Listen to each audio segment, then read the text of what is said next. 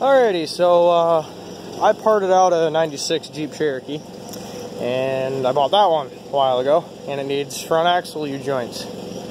Now, I had this front axle laying around from the other Jeep and I was like, oh, let's swap out the axle shafts and all that stuff from this one.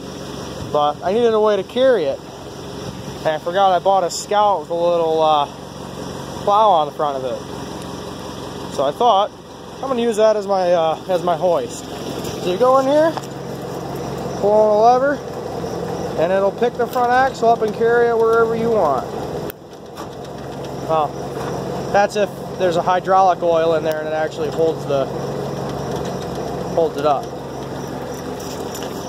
But it'll pick it up for you and it'll drive it to wherever you want. Eh. Eh. You just got to be careful about your toes, so don't wear uh, don't wear sandals.